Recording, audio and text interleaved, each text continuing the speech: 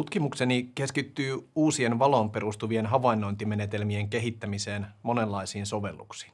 Tutkimme muun muassa, miten radioaktiiviset aineet saa näkyväksi kameralle ja siten helposti tunnistettaviksi, ja miten kaasuja tai kiinteitä aineita voi tunnistaa ja niiden pitoisuutta mitata lasertutkan avulla etäältä mittauskohteesta.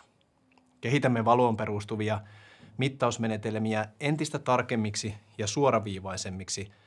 Näin ne voitaisiin ottaa yleisemmin käyttöön tuomaan lisää tietoa esimerkiksi teollisuusprosesseista, mahdollistaen tehokkaamman ja ympäristöystävällisemmän tuotannon sekä ympäristöstämme edistäen turvallisuutta ja hyviä toimintatapoja. Valon perustuvissa mittausmenetelmissä minua kiehtovat valon erikoiset vuorovaikutusmekanismit materiaalien kanssa ja niiden hyödyntäminen ihmisen aisteille näkymättömän tiedon saamiseksi. Opintojeni aikana valon perustuva teknologia eli fotoniikka kiehtoi haastavana fysiikan osa-alueena sekä uusien teknisten innovaatioiden laajana sovellusalueena. Silloin nousussa olivat muun muassa optinen tietoliikenne ja valkoisen ledin kehitys valaistukseen. Nyt nämä tek- tekniikat ovat valtavirtaa ja mahdollistavat meille nopeat tietoliikenneyhteydet ja energiatehokkaan valaistuksen. Myöhemmin tutkijan uralla olen siirtynyt kuvantamisen ja mittaamisen suuntaan, jossa minua kiehtoo uudenlaisen tiedon tuottaminen hyödyntäen fotoniikan uusimpia innovaatioita, kuten uuden tyyppisiä lasereita ja valon havainnointia yksittäisten fotonien tarkkuudella. Tiedon lisääminen mahdollistaa toiminnan tehostamisen ja tietoon perustuvat päätökset. Se antaa motivaatiota tutkimukseeni ja teknologian kehittämiseen. Haluan olla kehittämässä uusia havainnointimenetelmiä, jotka löytävät tiensä hyötykäyttöön suomalaisen teollisuuden tai viranomaistoiminnan kautta.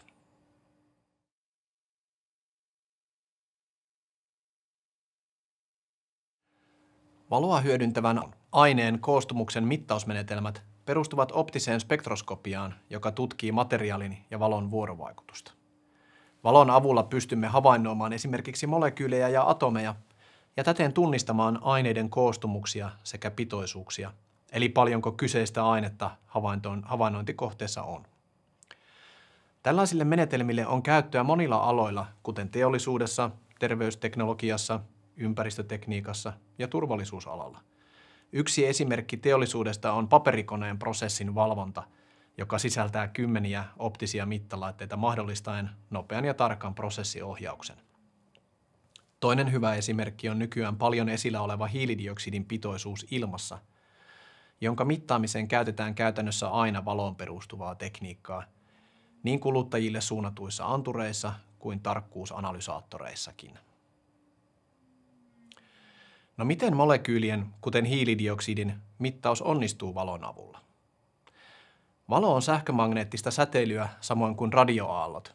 Tosin valon aallon pituus on huomattavasti lyhyempi kuin radioaallon. Radioaallon pituus radiokanaville tyypillisellä 100 MHz taajuudella on noin kolme metriä. Valon taajuus on yli miljoona kertaa suurempi, jolloin aallon pituus on yli miljoona kertaa pienempi, eli tyypillisesti noin yhden mikrometrin pituinen näkyvällä valolla vähän alle ja infrapunavalolla vähän yli mikrometrin. Mikrometri on millimetrin tuhannesosa, eli puhutaan jo aika pienestä kokoluokasta. Radioaallon vuorovaikutukseen radion kanssa tarvitaan antenni. Antenni on pituudeltaan tyypillisesti neljä kertaa aallonpituutta lyhyempi, ja joissain erikoistapauksissa voidaan käyttää jopa sata kertaa aallonpituutta lyhyempää antennia. Radioaallot tekevät antennin varausjakaman, jonka voidaan havaita jännitteenä antennissa ja siten saada sähköinen signaali radioon. Ja toisinpäin, jos antennin tehdään jännitteen avulla halutulla taajuudella vaihteleva varausjakama, toimii antenni lähettimenä. Valon tapauksessa sopiva antennin koko olisi mikrometrin kymmenesosa eli 100 nanometriä, joka on samaa koko luokkaa viruksien kanssa. Vieläkin tätä pienemmät antennit onneksi toimivat. Ja sitten tullaankin molekyylien kokoluokkaan, eli alle yhden nanometrin, joka on millimetrin miljoonasosa. Molekyylit, kuten hiilidioksidi, toimivat siis antennina valon taajuuksille, jotka, joka mahdollistaa molekyylien havainnoinnin valon avulla. Valon taajuus, tai toisin sanoen aallonpituus, pitää kuitenkin valita tarkasti vastaamaan molekyylin ominaista värähtelytaajuutta.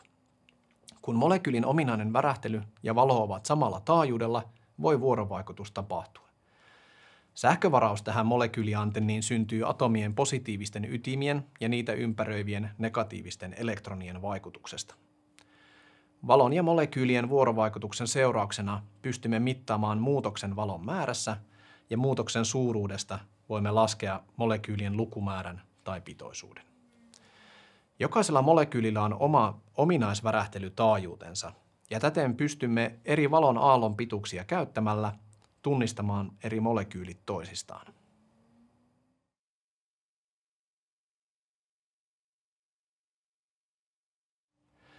Oma tutkimukseni perustuu tämän valon ja aineen vuorovaikutuksen hyödyntämiseen uudenlaisten havainnointimenetelmien kehittämiseksi. Valon ja aineen vuorovaikutuksen perusteet on tunnettu jo sata vuotta erittäin hyvin, ja siihen liittyvät ilmiöt on todennettu laboratoriokokein moneen kertaan. Nyt teknillisen tutkimuksen haasteena onkin, miten tuoda nämä ilmiöt ja menetelmät arkipäiväisempään käyttöön ja yhteiskunnan hyödyksi. Tässä apuna toimii fotoniikan komponenttien nopea kehitys. Laserosoittimissakin käytettyjä lasersiruja on nykyään hyvin saatavilla kaupallisesti kaikille aallonpituuksille ultravioletista pitkälle infrapuna-alueelle, mikä mahdollistaa oikean aallonpituuden valitsemisen molekyylin ja sovelluksen mukaan. Näin ei ollut vielä kymmenen vuotta sitten, vaan valikoimasta puuttui useita tärkeitä aallonpituusalueita. Nyt nämä haasteet ovat osittain takana, vaikka vaikutus näkyykin vielä lasersirujen hinnassa tehden joistakin aallonpituuksista jopa sata kertaa toisia kalliimpia. Yleensä komponenttien hinnat kuitenkin laskevat lukumäärien noustessa, joten sovellusten yleistyessä niistä tulee myös edullisempia. Tyypillisesti ensimmäisenä uudet menetelmät otetaan käyttöön erikoissovelluksissa tai teollisuudessa, jossa menetelmän tuottama uusi tieto tuo huomattavaa lisäarvoa, ja vasta myöhemmin kuluttajatuotteissa, kun hintataso on sopiva tuottamaan sitä vastaavaa lisäarvoa myös kuluttajalle. Näin on käynyt esimerkiksi valon perustuville hiilidioksidiantureille, joita asennetaan nykyään talotekniikan osaksi. Samoin palovaroittimissa optinen havainnointi on suurelta osin korvannut edeltäneen radioaktiiviseen säteilylähteeseen perustuneen menetelmän. Yksi tutkimuskohteitamme onkin juuri kaasumolekyylien havainnointi optisesti. Kehitämme menetelmää, jolla pystyy mittaamaan kaikki tietyllä aallonpituuskaistalla keski-infrapuna-alueella värähtelevät molekyylit yhtäaikaisesti ja erottelemaan ne toisistaan. Tässä hyödynnämme uuden tyyppistä valkoisen valon laseria, eli superjatkumolaseria. Sen säteessä on kaikki aallonpituuskaistan värit yhtä aikaa. Sen avulla voi siis tehdä vuorovaikutuksen kaikkiin molekyyleihin samanaikaisesti hyötyen silti kirkkaan lasersäteen ominaisuuksista. Valon aiheuttaman molekyylien värähtelyn havainnoimme fotoakustisesti, eli käyttäen hyvin herkkää mikrofonia. Molekyylin värähtely vaimenee lämmöksi ja siitä muodostuvaksi paineaalloksi, joka on itse asiassa helpompi havainnoida herkällä mikrofonilla kuin mikroskooppisen pieni vaimenema, vaimenema valon tehossa. Tällä menetelmällä olemme esimerkiksi pystyneet mittaamaan usean hiilivetyyhdisteen hyvin pieniä jäännöspitoisuuksia samanaikaisesti. Laser mahdollistaa mittausten tekemisen myös pidemmän matkan päästä. Parhaillaan lasertutka eli LIDAR on yleistymässä lähettyvillä sijaitsevien kohteiden havaitsemiseksi muun muassa liikenteessä. Tyypillisesti lidareissa käytettävien lasereiden aallonpituus ei kuitenkaan ole säädetty molekyylien taajuudelle, vaan ne mittaavat kohteiden paikkatietoa hyödyntäen takaisin heijastumaa ja valon hyvin tunnettua kulkunopeutta. Me tutkimme, kuinka lidarilla voisi havainnoida myös kaasumolekyylejä – kaasun lämpötilaa, ilmakehan hiukkasia ja tunnistaa kiinteitä aineita, kuten muoveja. Tällöin tarvitaan lasertutkan aallonpituuden tarkkaa hallintaa vastaamaan molekyylien taajuutta sekä erityisen herkkää vastaanotinta, jotta pienet muutokset valon määrässä pystytään havainnoimaan. LIDAR-tekniikoissa tarvitaan myös erittäin nopeaa havainnointielektroniikkaa ja reaaliaikaista datan käsittelyä, sillä tuotetun datan määrä on huima jopa useita gigatavuja sekunnissa. Tähän mennessä olemme pystyneet luotettavasti tunnistamaan eri muovilaatuja useiden metrien etäisyydeltä sekä pystyneet määrittämään kaasun pitoisuuden ja lämpötilan teollisuusprosessissa 10 metrin matkalla. Tutkimme ja kehitämme myös menetelmää radioaktiivisten aineiden havainnointiin ja paikantamiseen optisen kuvantamisen avulla. Perinteinen radioaktiivisuutta havainnoiva mittarihan tikittää pulsseja merkiksi havaitusta säteilystä, mutta menetelmä ei tiedä, mistä suunnasta säteily tulee. Tällöin radioaktiivisten lähteiden löytäminen esimerkiksi onnettomuustilanteissa tai käytöstä poistettavan ydinlaitoksen purkutyössä on haastavaa. Radioaktiivinen materiaali kuitenkin ionisoi ja virittää ilman molekyylejä ympärillään.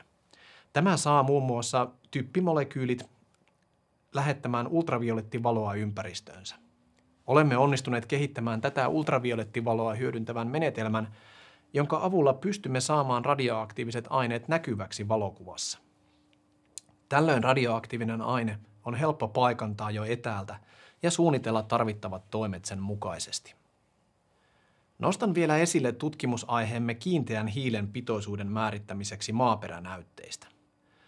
Tässä hyödynnetään mielenkiintoista lasertekniikkaa, joka on käytössä NASAn kahdessa viimeisimmässä Mars-mönkiässä.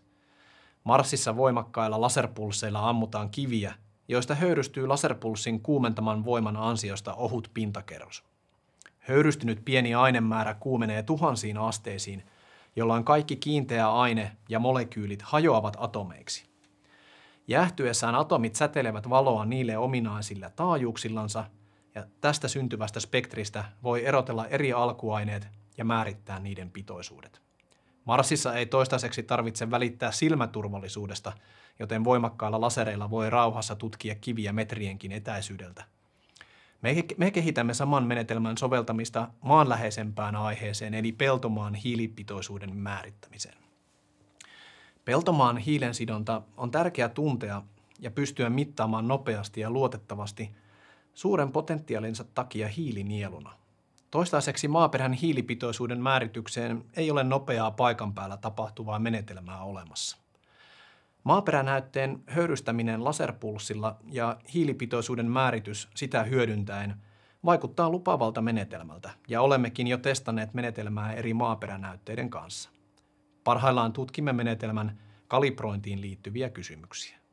Ja silmäturvallisuudesta pidämme toki huolta rajaamalla voimakkaat laserpulssit niille tarkoitettuun tilaan, esimerkiksi mittalaitteen sisälle.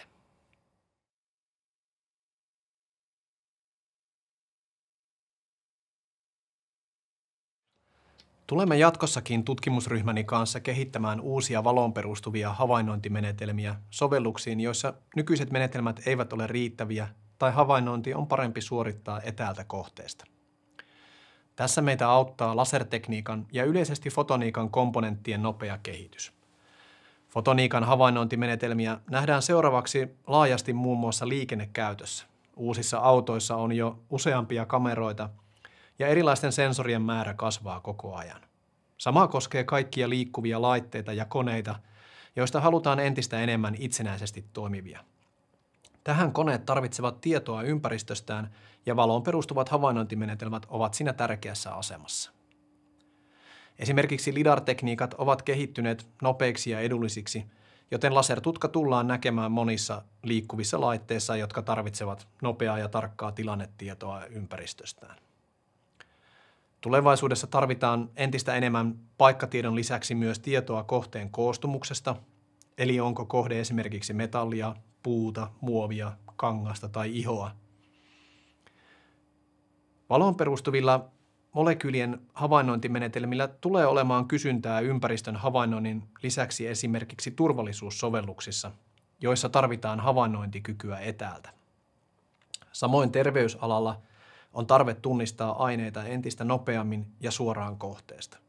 Tällaisissa tilanteissa valoon perustuvat tekniikat ovat omimmillaan. Teollisuudessa prosessien valvonta ja ohjaus tarvitsee myös nopeaa prosessista suoraan tehtävää havainnointia, jotta toimintatapoja pystytään kehittämään entistä paremmiksi. Kysyntää siis uutta tietoa tuottaville menetelmille on, ja tulemme varmasti näkemään niiden yleistymisen monella yhteiskunnan alueella. Suomi on fotoniikan tutkimuksessa hyvin maailman huippumaiden mukana, ja suomalainen teollisuus hyödyntää laajasti fotoniikan tarjoamia mahdollisuuksia – ollen johtava tekijä monella osa-alueella, kuten lasereissa, kamerateknologiassa ja teollisuuden prosessien tehostamisessa.